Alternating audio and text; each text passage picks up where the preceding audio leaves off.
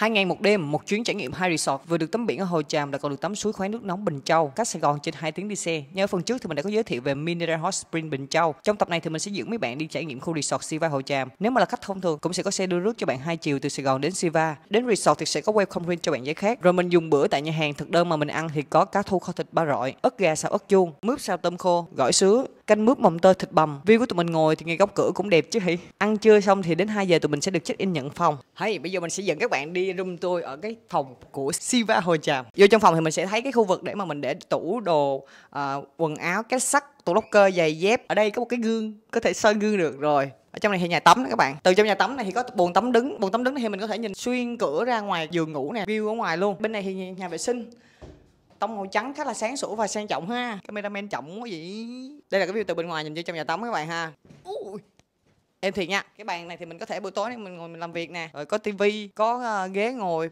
có bàn ngay cái view nhìn ra cửa luôn các bạn đó, mình có thể ngồi ngay sofa này để ngắm ra ngoài, không gian khá là ok nha. Sau khi mà nghỉ khỏe một xíu thì tụi mình ra hồ bơi chơi. Hồ này đặc biệt cái là hồ nước mặn và khuôn viên của resort cũng rất là thoáng, rộng. Bạn có thể thông dong từ từ đi bộ dạo ra biển, hoặc là báo với lễ tân sẽ có xe điện đưa rước mình luôn. Thường thì vào độ hoàng hôn người ta mới đi tắm biển, nhưng mà bãi biển ở đây rất là bự. Còn có vườn cây mát với mấy cái ghế nhìn chiêu chiêu nên là mình ra sớm một chút để cắm tay phone, ngồi nghe nhạc, ngắm biển. Khi mà trời mát hơn nữa thì tụi mình bắt đầu lang thang ra biển luôn. Bãi này là bãi riêng của resort, rất là thoải, dài và đẹp. Nhưng mà mình cũng làm biến tắm biển nên là mình chỉ đi dạo và enjoy thôi à. Khi mà trời bắt đầu hoàng hôn và lặn xuống thì mình đón xe điện vào trong. Để trải nghiệm chèo kayak lưu ý thì đây là trải nghiệm tự túc nên không bao gồm trong gói combo nha. Nhưng mà giá thì cũng khá là rẻ, trong tuần thì kayak đôi cho hai đứa chỉ có 150 cành một tiếng thôi, mà chèo một tiếng là bạn cũng đuối luôn rồi. Ở mặt nước hồ thì có chỗ sâu chỗ cạn, nhưng mà êm lắm, khá là dễ chèo. Bạn nên lựa vào tầm khoảng sáng sớm hoặc là chiều mát mát như thế này á, sẽ không có bị nắng mà cảnh trời còn yên bình nữa. Mình bắt được cái khoảnh khắc chú chim đang bay lượn nè, mà lưu ý là cũng đừng đi trễ quá, vì 6 giờ tối là sẽ ngưng hoạt động chèo súp và kayak rồi đó. Chơi xong thì sẽ có nhân viên cất cho mình luôn nha. Nhưng mà mình thích thể hiện với lại làm màu nên là mình tự lôi lên.